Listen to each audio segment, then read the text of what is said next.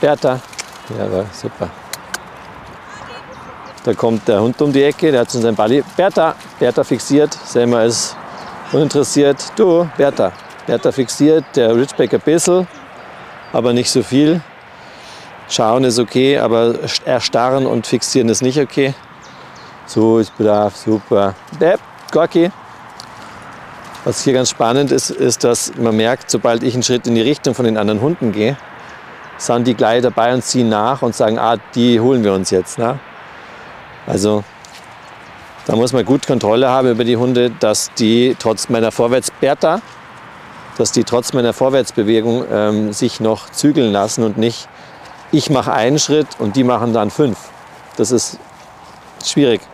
Weil mache ich zwei Schritte, machen sie zehn, mache ich drei Schritte, sind sie schon dort beim anderen Hund.